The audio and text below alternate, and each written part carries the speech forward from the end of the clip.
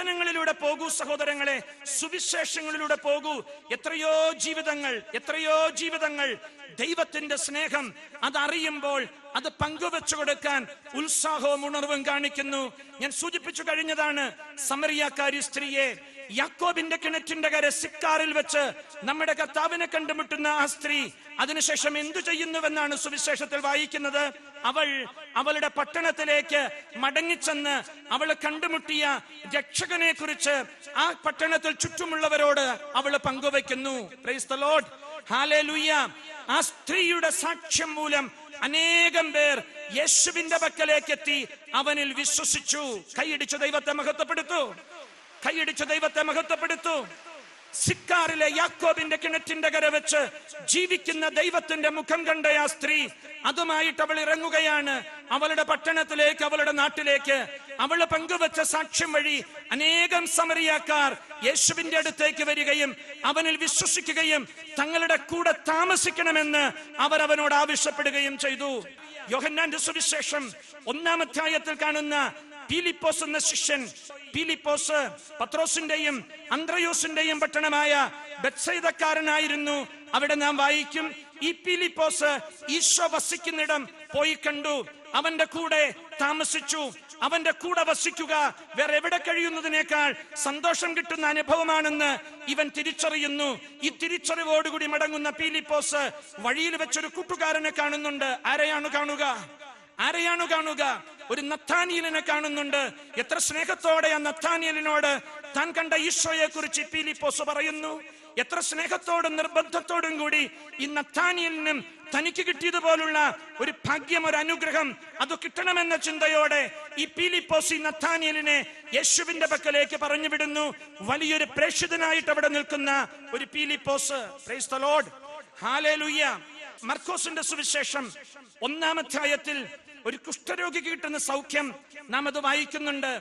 കർത്താവെ മനസ്സാകുമെങ്കിൽ നിനക്കെന്നെ സുഖപ്പെടുത്താൻ പറ്റുമെന്ന് പറഞ്ഞ് യേശുവിന്റെ മുൻപിൽ നിൽക്കുന്ന കുഷ്ഠരോഗിയാണത്. സൗഖ്യം കിട്ടുന്നു. നമ്മൾ തൊട്ടുതാഴെ വായിക്കുന്നു. അവന് കിട്ടിയ സൗഖ്യം ആ അനുഭവം അവൻ പോയി ആ പട്ടണത്തിലുള്ള മറ്റുള്ളവരോടൊക്കെ അവൻ പറയുന്നു അവന് പരിചയമുള്ള എല്ലാവരോടും പറയുന്നു ഈ കുഷ്ഠരോഗിയുടെ ഈ പങ്കുവയ്പും ഈ സാക്ഷ്യവും വഴി ആ പട്ടണത്തിലുള്ള അനേകം പേര് യേശുവിന്റെ പക്കലേക്ക് കടന്നു വരുന്നു തനിക്ക് കിട്ടിയൊരു സൗഖ്യം തന്നെ സുഖപ്പെടുത്തി. നസറായനായ യേശു ഇതവൻ ആ പട്ടണത്തിലേക്ക് ഇറങ്ങി പങ്കുവെക്കുമ്പോൾ ആ പട്ടണത്തിൽ ഇവന് പരിചയമുള്ളവര് മുഴുവനും യേശുവിന്റെ പക്കലേക്ക് വരുന്നു. നമ്മുടെ കർത്താവിനെ ആ നാടറിയുന്നു അവന്റെ പക്കലേക്ക് ഒരുപാട് പേര് വരുന്നു. അനേകം പേര് രക്ഷയുടെ കൃപയിലേക്ക് കടന്നു വരുന്നു.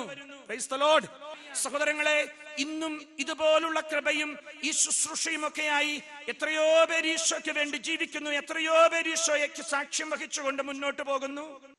ഞാൻ വേഗം ഓർക്കുന്നത് ഇക്കഴിഞ്ഞ ജൂലൈ മാസത്തിൽ നമ്മുടെ ധ്യാന കേന്ദ്രത്തിൽ ധ്യാനിച്ച ഒരു ചെറുപ്പക്കാരൻ കൊല്ലങ്ങളോളം ഗൾഫിൽ ജോലി ഉണ്ടായിരുന്നു ഒരുവിധം സാമ്പത്തിക ഭദ്രതയൊക്കെ വന്നപ്പോൾ ആ ജോലി രാജിവെച്ച് അല്ലെങ്കിൽ ജോലി അവസാനിപ്പിച്ച് നാട്ടിൽ വന്ന് ഒരു ബിസിനസ് കാര്യത്തിലോട്ട് തിരിയുന്നു.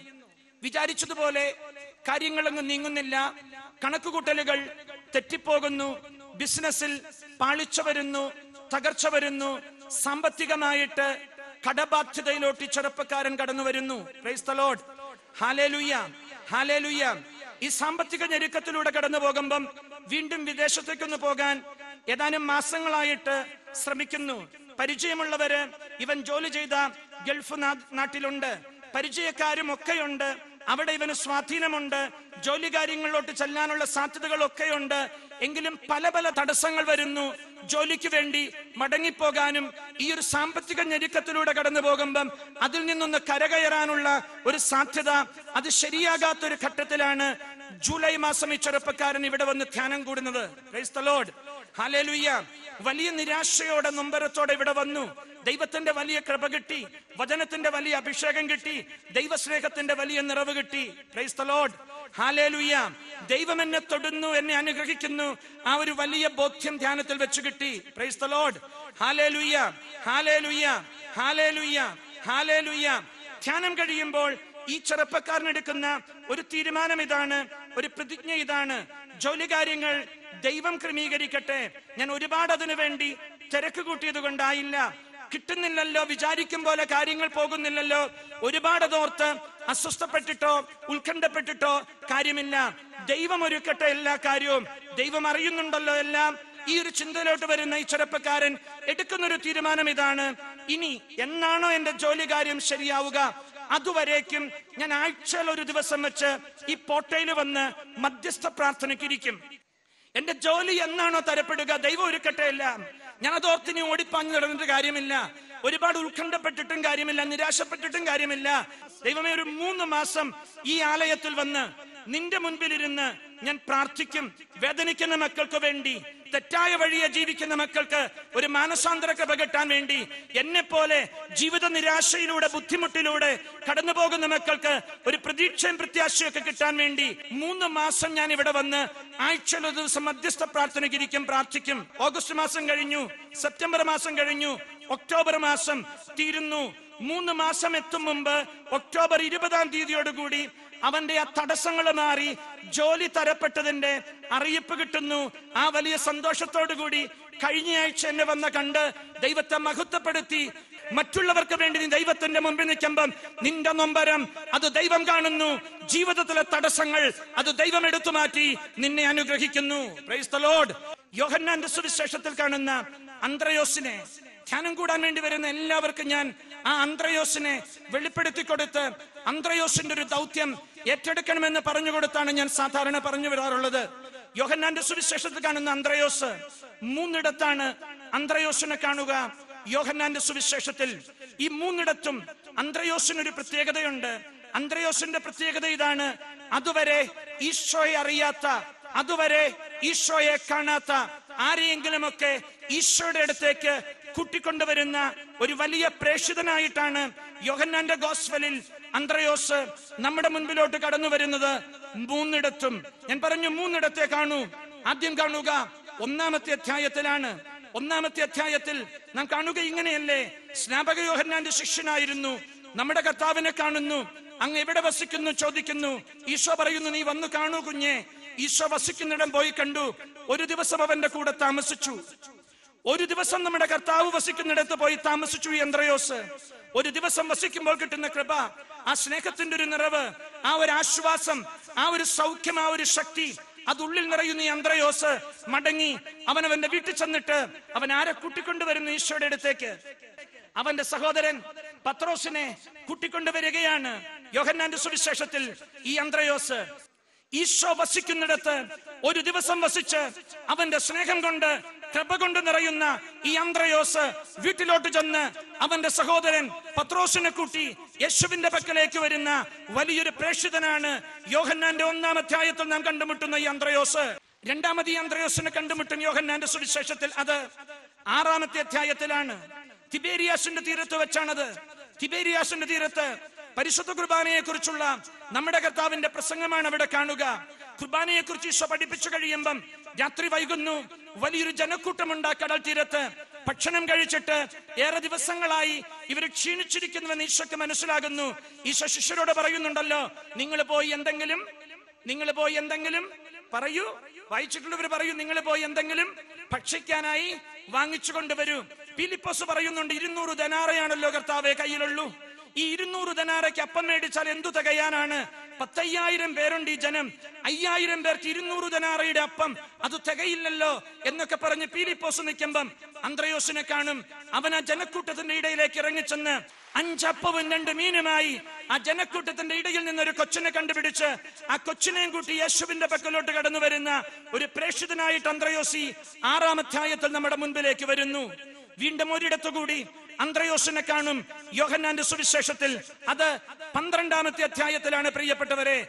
പെസക തിരുനാളാണ് പശ്ചാത്തലം. ഒരുപാട് പേര് പെസക തിരുനാൾ കൂടാൻ ജെറുസലമിൽ വന്നിട്ടുണ്ട്. ലോർഡ് ഹാലേലുയ്യ ഇത്തിരുനാൾ തിരുനാൾ ആഘോഷങ്ങളൊക്കെ കഴിഞ്ഞ് മടങ്ങുന്ന നേരമാകുമ്പോൾ ഗ്രീക്കുകാർ വന്ന് പീലിപ്പോസിനോട് ഒരു കാര്യം ചോദിക്കുന്നുണ്ട്. ഞങ്ങൾക്ക് ആരെ കാണണം? ഞങ്ങൾ ആരെ കാണാൻ ആഗ്രഹിക്കുന്നു? ഞങ്ങൾ ആരെ കാണാൻ ആഗ്രഹിക്കുന്നു? ഞങ്ങൾ യേശുവിനെ കാണാൻ ആഗ്രഹിക്കുന്നു. ഗ്രീക്കുകാർ വന്ന് നമ്മുടെ കർത്താവിനെ കാണാനുള്ള ആഗ്രഹം പങ്കുവെക്കുമ്പം ഈ പീലിപ്പോസ് ചെന്ന് ആരോട് പറയുന്നു? അന്ത്രയോസിനോട് പറയുന്നു. അന്ത്രയോസ് ഇറങ്ങിച്ചെന്ന് ആരെക്കൂട്ടി യേശുവിന്റെ അടുത്തേക്ക് പോകുന്നു? യേശുവിനെ കാണാൻ കാത്തു നിൽക്കുന്ന ഗ്രീക്കുകാരെ യേശുവിന്റെ അടുത്തേക്ക് കൂട്ടിക്കൊണ്ടു പോകുന്ന ഒരു വലിയ പ്രേക്ഷിത ശുശ്രൂഷ ചെയ്യുന്ന ഒരു തെരഞ്ഞെടുക്കപ്പെട്ടവനായിട്ട് ഈ പന്ത്രണ്ടാം അധ്യായത്തിൽ ഈ അന്ത്രയോസ് നിൽക്കുന്നു പ്രിയപ്പെട്ടവരെ. അന്ത്രയോസിനെ യോഹന്നാന്റെ ഗോസ്വലിൽ മൂന്നിടത്ത് കാണും. മൂന്നിടത്തും അതുവരെ യേശുവിന്റെ പക്കലെത്താത്ത ആരെയെങ്കിലുമൊക്കെ യേശുവിന്റെ പക്കലേക്ക് കൂട്ടിക്കൊണ്ടുവരുന്ന ഒരു പ്രേക്ഷിത ദൗത്യം ഏറ്റെടുക്കുന്നവനാണ് ഈ അന്ത്രയോസ്. ഈ പൊട്ട എന്ന ദൈവഭവനത്തിൽ വന്ന് ദൈവത്തിന്റെ കൃപ കൊണ്ട് നിറഞ്ഞവരാണ് എന്നെ കേട്ടിരിക്കുന്ന നിങ്ങൾ ഓരോരുത്തരും. ദൈവത്തിന്റെ സ്നേഹം കൊണ്ടും ദൈവത്തിന്റെ കൃപ കൊണ്ടും നിറഞ്ഞ നിങ്ങൾ ഓരോരുത്തരും പ്രിയപ്പെട്ടവരെ. അന്ത്രയോസുമാരാകണം.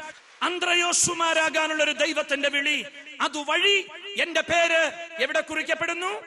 എവിടെ കുറിക്കപ്പെടുന്നു?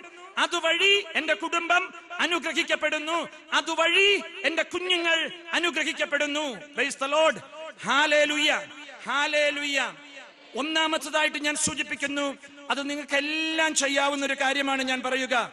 നിങ്ങൾ എത്ര പേരാണ്? ഒരു ഒരു രണ്ടായിരം പേര് ഒരു ആയിരത്തി അഞ്ഞൂറ് പേര് ഈ ശുശ്രൂഷയിൽ നിന്ന് പങ്കെടുക്കുന്നു.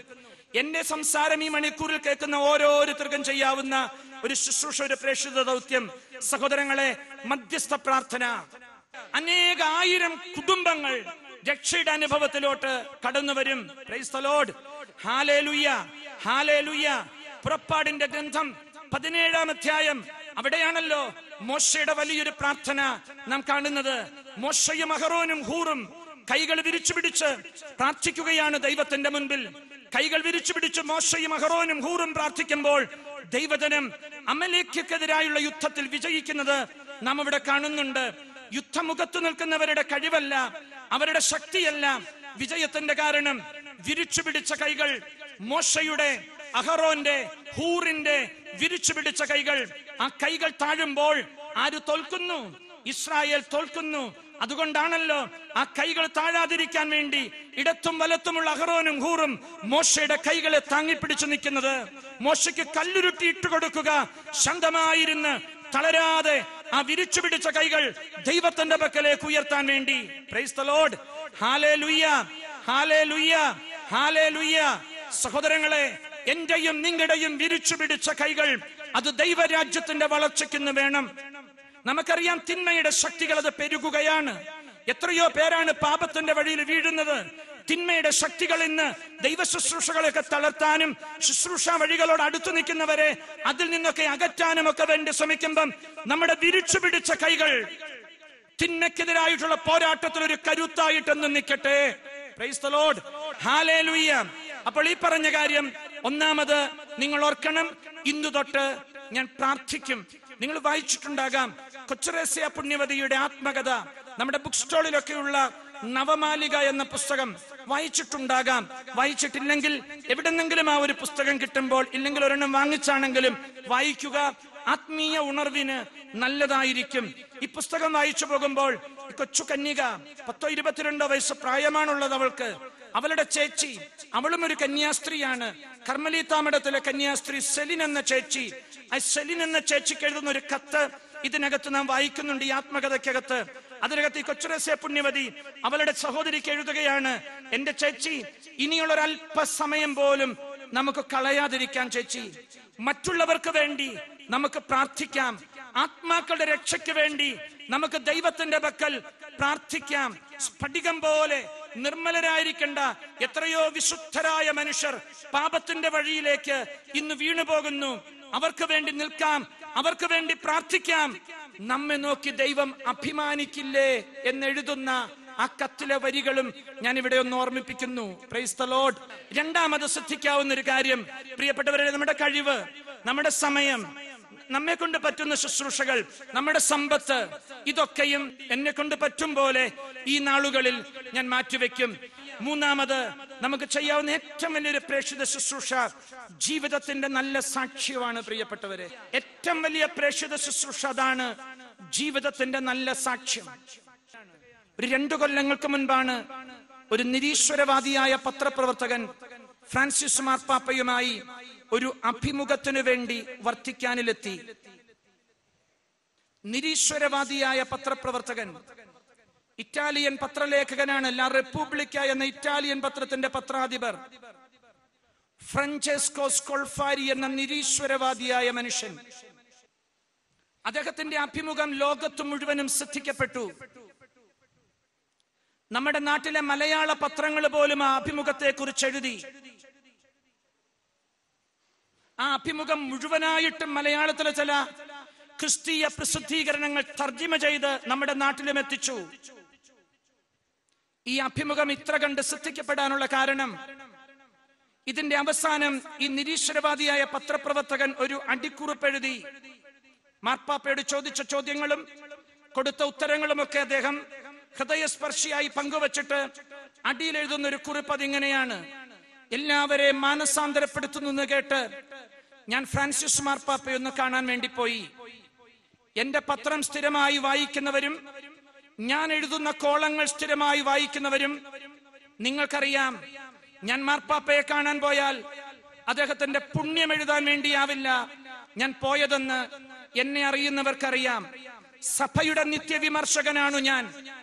വൈദികരെ കുറിച്ചും സഭയെ കുറിച്ചുമൊക്കെ എന്നും കുറ്റങ്ങളും കുറവുകളും മാത്രം ഞാൻ എഴുതുന്നു. ഞാൻ മാപ്പാപ്പയെ കാണാൻ പോയതും ആ ഒരു ചിന്തയോടുകൂടി തന്നെയാണ്. ഏതെങ്കിലും കുറവുകളോ വീഴ്ചകളോ കണ്ടാൽ അതിനെക്കുറിച്ച് എഴുതാൻ വേണ്ടി. പക്ഷേ ഒരു കാര്യം ഞാൻ മനസ്സിലാക്കുന്നു. എന്നിട്ട് ഈ മനുഷ്യൻ ഏറ്റുപറയുകയാണ് ലോകത്തിന്റെ മുഴുവനും മുമ്പിൽ. എല്ലാവരെയും മാനസാന്തരപ്പെടുത്തുന്ന ആ വലിയ മനുഷ്യൻ. സുവിശേഷത്തിൽ ഞാൻ കണ്ടിട്ടുള്ള ക്രിസ്തുവിന്റെ മുഖം ഇന്ന് വെളിപ്പെടുത്തുന്ന തിരുസഭയുടെ ഈ പരമാധ്യക്ഷൻ. അങ്ങേരെ രണ്ടു മണിക്കൂർ കണ്ടിട്ട് ഞാൻ മടങ്ങുമ്പോൾ എന്റെ ഉള്ളിൽ ഒരു പേടി കയറിയിട്ടുണ്ട്. ഈ ഞാനും നോക്കിക്കണ്ടു നിന്നില്ലെങ്കിൽ അദ്ദേഹം എന്നെയും മാനസാന്തരപ്പെടുത്തുവോ എന്നൊരു പേടി എന്റെ ഉള്ളിലും കയറിയിരിക്കുന്നു. അവസാനം പരാമർശിക്കുന്ന ഒരു കാര്യം മാത്രം ഞാൻ സൂചിപ്പിക്കുന്നു. മർപ്പാപ്പ ഇന്റർവ്യൂ കഴിഞ്ഞ് ഒരുമിച്ച് കാപ്പി കുടിച്ച് പിരിയുന്ന നേരം പറയുന്നുണ്ട് സ്കൊൾഫാരി നിങ്ങൾ വീണ്ടും വരണം ഈ വഴിക്ക് വരണം. നമ്മളിൽ തുടങ്ങിയ സംവാദവും സൗഹൃദവും നമുക്കിനിയും തുടരാം. നിങ്ങൾ എന്തു വേണമെങ്കിലും എഴുതിക്കോ. നിങ്ങളുടെ പത്രങ്ങൾ ഞാനും വായിക്കുന്നയാളാണ്. നിങ്ങൾ എഴുതുന്ന വിമർശനങ്ങൾ ഞാനതും തുറവിയോടുകൂടി വായിക്കുന്നയാളാണ്. നമ്മൾ രണ്ട് മണിക്കൂർ സംസാരിച്ച് പിരിയുമ്പം നന്മയായതൊന്നും നിങ്ങൾ കണ്ടിട്ടില്ലായിരിക്കും. കുറവുകളെ കണ്ടിട്ടുള്ളോ? അതെഴുതിക്കോ? ഒരു പ്രയാസവും എനിക്കില്ല. പക്ഷേ ഇനിയും ഈ വഴിക്ക് നിങ്ങൾ വരണം. ഈ ഒരു സംവാദം നമുക്ക് ഇനിയും മുന്നോട്ട് തുടരാം. ഈ മനുഷ്യൻ പറയും സ്നേഹത്തോടെ ഇത് പറഞ്ഞ് ഇനിയും വരണമെന്ന് പറഞ്ഞ് എന്നെ സ്നേഹത്തോടു കൂടി യാത്രയാക്കുന്ന വേള. ആ രണ്ട് മണിക്കൂർ മാർപ്പാപ്പയ്ക്ക് മുൻപിലിരുന്ന് പൊട്ടിക്കരയാൻ പലപ്പോഴും എനിക്ക് തോന്നി. അദ്ദേഹത്തിന്റെ സംസാരവും രീതികളും സമീപനങ്ങളും ഒക്കെയാണ് കാരണം. അത് പറയുന്നില്ല ഞാനിവിടെ കുറവ് കൊണ്ട്. പലവട്ടം പൊട്ടിക്കരണമെന്ന് തോന്നി. ഞാൻ കരച്ചിൽ അടക്കി പിടിച്ചിരുന്നു. ഇത്രയും പറഞ്ഞ് എന്നെ യാത്രയാക്കുമ്പം ഞാൻ പൊട്ടിക്കരഞ്ഞു മാർപ്പാപ്പയുടെ മുൻപിൽ. ആ കൈകളിൽ ഞാൻ ഒരു കൊച്ചു കുഞ്ഞിനെ പോലെ മുറുക്കെ പിടിച്ച് എങ്ങലടിച്ചു ഞാൻ കരഞ്ഞു. ഞാൻ കരയുമ്പോൾ എന്നെ ആശ്വസിപ്പിക്കുന്നു മാർപ്പാപ്പ. എന്നെ ആശ്വസിപ്പിച്ചു നിൽക്കുമ്പം ഞാൻ ആ മുഖത്ത് നോക്കി ഇങ്ങനെ പറഞ്ഞു പിതാവേ എല്ലാവരും പറയുന്നു ഞാനൊരു നിരീശ്വരവാദിയാണെന്ന്. ദൈവവിശ്വാസം ഇല്ലാത്തവനാണെന്ന് നിരീശ്വരവാദിയാണെന്ന് എല്ലാവരും പറയുന്നു. അങ്ങനെയല്ല പിതാവേ സത്യം അങ്ങെങ്കിലും അറിയണം. എനിക്ക് ദൈവത്തിൽ വിശ്വാസമുണ്ട് പിതാവേ. ഞാൻ ദൈവത്തിൽ വിശ്വസിക്കുന്നുണ്ട്. പക്ഷേ അങ്ങയുടെ സഭയിൽ എനിക്ക് വിശ്വാസമില്ല. ദൈവത്തിൽ ഞാൻ വിശ്വസിക്കുന്നുണ്ട്. അങ്ങയുടെ സഭയിൽ എനിക്ക് വിശ്വാസമില്ല പിതാവേ. ഞാൻ സുവിശേഷത്തിൽ വായിച്ചു കണ്ടിട്ടുള്ള ക്രിസ്തുവിന്റെ മുഖം ആ മുഖം വെളിപ്പെടുത്താൻ അങ്ങയുടെ സഭയ്ക്ക് പറ്റുന്നില്ല. അങ്ങയുടെ സഭയ്ക്ക് മാത്രമല്ല അങ്ങയുടെ പുരോഹിതർക്കും അങ്ങയുടെ സമർപ്പിതർക്കും സഭയോടേറെ അടുത്തു നിന്ന് ജീവിക്കുന്നവർക്കും ക്രിസ്തുവിന്റെ മുഖം അത് വെളിപ്പെടുത്താൻ പറ്റുന്നില്ലല്ലോ എന്ന് സങ്കടത്തോടുകൂടി ഞാൻ അങ്ങയുടെ മുൻപിൽ ഏറ്റുപറയുന്നു പിതാവേ. പ്രൈസ് അങ്ങറിയണം. ഞാനും ഒരു കത്തോലിക്ക കുടുംബത്തിൽ പിറന്നവനാണ്. എന്റെ മാതാപിതാക്കൾ എന്നെ ജ്ഞാനസ്നാനം മുക്കമ്പം എനിക്കിട്ടു തന്ന പേര് അങ്ങെടുത്ത അസീസിയിലെ ഫ്രാൻസിസിന്റെ പേര് തന്നെയാണ്. ഞാനും ഒരു ഫ്രാൻസിസ് ആണ് പിതാവേ. ഫ്രാൻസിസിന്റെ ഇറ്റാലിയൻ പേരാണ് ഫ്രാൻചെസ്കോ. ഞാനും ഒരു ഫ്രാൻസിസ് ആണ് പിതാവേ. അങ്ങെടുത്ത അസീസിയിലെ പുണ്യവാന്റെ പേരാണ്. എന്റെ മാമോദിസ മുക്കമ്പം എന്റെ അമ്മ എനിക്കിട്ടു തന്ന പേര് എന്റെ അമ്മയുടെ കൂടെ ഞാൻ കുഞ്ഞു പ്രായത്തിൽ എന്നും ഇടവക ദേവാലയത്തിൽ പോകുമായിരുന്നു. എന്റെ ഇടവകയിലെ ഒരു അൾത്താര ബാലനായിരുന്നു പിതാവേ. കുഞ്ഞു പ്രായത്തിൽ ഈ ഞാനും ഇങ്ങനെയുള്ള ഞാൻ വളർന്നു വലുതായി വന്നപ്പം ഒരു സഭയുടെ വിരോധിയായി ഞാൻ തീർന്നുവെങ്കിൽ സഭയെ വിമർശിക്കുന്നവനായി ഞാൻ മാറിയെങ്കിൽ സഭയോട് അടുത്തു നിൽക്കുന്നവരിൽ ക്രിസ്തുവിന്റെ മുഖം എനിക്ക് കാണാനൊക്കാത്തത് കൊണ്ടാണ് പിതാവേ. കാണാനൊക്കാത്തത് കൊണ്ട് എന്നാൽ ഞാൻ അഭിമാനത്തോടു കൂടി പറയട്ടെ. ഞാൻ കാണാൻ കൊതിച്ച ആ ക്രിസ്തുവിന്റെ മുഖം അങ്ങയുടെ മുഖത്ത് ഈ രണ്ട് മണിക്കൂർ കൊണ്ട് അങ്ങയുടെ മുഖത്ത് ഞാൻ കണ്ടു കഴിഞ്ഞു പിതാവേ. അങ്ങയ്ക്ക് കൊടുക്കാനൊക്കണം ഈ ബോധ്യം അങ്ങയുടെ ജനത്തിന് അങ്ങയുടെ വൈദികർക്ക് അങ്ങയുടെ സമർപ്പിതർക്ക് സഭയിലെ വിശ്വാസികൾക്ക് ഈ ബോധ്യം കൊടുക്കാനൊക്കണം ക്രിസ്തുവിന്റെ മുഖം അത് വെളിപ്പെടുത്തുകയാണ് ക്രിസ്തീയ ജീവിതം എന്നുള്ള ബോധ്യം. അങ്ങേക്ക് കൊടുക്കാനൊക്കണം അങ്ങയുടെ വിശ്വാസികൾക്ക്. ഇതിനങ്ങ് സാധിച്ചാൽ ഇതിനങ്ങേക്ക് സാധിച്ചാൽ കത്തോലിക്ക തിരുസഭയുടെ ചരിത്രത്തിൽ വിസ്മയകരമായ മാറ്റങ്ങൾക്ക് തുടക്കം കുറിച്ചവനായി. പത്രോസിന്റെ ഈ ഇരുന്നൂറ്റി അറുപത്തിയാറാമത്തെ പിൻഗാമിയുടെ പേര് തങ്ക ലിപികളിൽ കുറിക്കപ്പെടും പിതാവേ എന്ന് പറഞ്ഞിട്ട് ആ നിരീശ്വരവാദി വർത്തിക്കാൻ വിട്ടിറങ്ങി. പ്രിയപ്പെട്ടവരെ ക്രിസ്തുവിനെ വെളിപ്പെടുത്തലാണ്. ഏറ്റവും വലിയ പ്രേക്ഷിത ശുശ്രൂഷ എന്ന ഓർമ്മപ്പെടുത്തലാണ്. ഈ ആദ്യ വെള്ളിയുടെ സന്ദേശമായിട്ട് എനിക്ക് നിങ്ങളുമായിട്ട് പങ്കുവെക്കാനുള്ളത്. സുവിശേഷം എല്ലാ ആഴ്ചയും എന്ന് കേൾക്കുന്നു നിങ്ങൾ. എല്ലാ മാസത്തെയും ആദ്യ വെള്ളിയാഴ്ച വന്ന് ക്രിസ്തുവിന്റെ സുവിശേഷം ശ്രവിക്കുന്ന നിങ്ങൾ. ഈ സുവിശേഷം വീണ്ടും വീണ്ടും ശ്രവിക്കുന്ന നിങ്ങൾ. എന്തുമാത്രം അവന്റെ ഒരു സുവിശേഷമായി തീരുന്നുണ്ട്? അവന്റെ ഒരു സുവിശേഷമായി തീരുന്നുണ്ട്. ഈ ആദ്യ വെള്ളിയാഴ്ച ഞാൻ ഈ ആഹ്വാനമാണ്. നിങ്ങൾക്ക് തരിക. ഒരു അഞ്ചാം സുവിശേഷമായി തീരാനുള്ള വലിയൊരു ദൗത്യം ഈ പോട്ടയിൽ നിന്ന് എന്റെ പ്രിയ സഹോദരങ്ങൾ സ്വീകരിക്കണം. ഒരഞ്ചാം സുവിശേഷമായി ജീവിക്കാനുള്ള വലിയൊരു ദൈവത്തിന്റെ ദൗത്യം. സഹോദരങ്ങളെ നാല് സുവിശേഷങ്ങൾ ഈ വിശുദ്ധ ഗ്രന്ഥത്തിലുണ്ട്. നാലു കാനോനിക സുവിശേഷങ്ങൾ ഈ വിശുദ്ധ ഗ്രന്ഥത്തിലുണ്ട്. നമ്മുടെ കുടുംബത്തിലുള്ളവർ നമ്മുടെ അയൽപക്കങ്ങളിലുള്ളവർ നമ്മുടെ ഇടവകയിലുള്ളവർ ഈ വേദപുസ്തകം കൈകൊണ്ട് തൊട്ടൊന്നും വരില്ല. ഈ വേദപുസ്തകം അവർ കൈകൊണ്ട് തൊടാത്തപ്പോഴും ഇതിനകത്തുള്ള നാല് സുവിശേഷം കൈകൊണ്ടെടുത്ത് അവർ വായിക്കാത്തപ്പോഴും തുറക്കാത്തപ്പോഴും പോട്ടയിൽ സ്ഥിരമായി പോകുന്ന നിന്നെയും പോട്ടയിൽ വചന ശുശ്രൂഷ ചെയ്യുന്ന എന്നെയും അവർ നോക്കും. ഒരു സുവിശേഷമായി നിങ്ങളെയും എന്നെയും അവർ വിലയിരുത്തും വീക്ഷിക്കും. ഈ നാല് സുവിശേഷങ്ങൾ കൈകൊണ്ട് തൊട്ടില്ലെങ്കിലും അവർക്ക് മുൻപിൽ തുറക്കപ്പെടുന്ന ഒരഞ്ചാം സുവിശേഷമായി എന്റെയും നിങ്ങളുടെയും ഒക്കെ ജീവിതങ്ങൾ തീരട്ടെ പ്രിയപ്പെട്ടവരെ. ഇതാവട്ടെ ഈ പോട്ടയിൽ നിന്ന് സ്വന്തമാക്കുന്ന ദൈവത്തിന്റെ വലിയ കൃപ.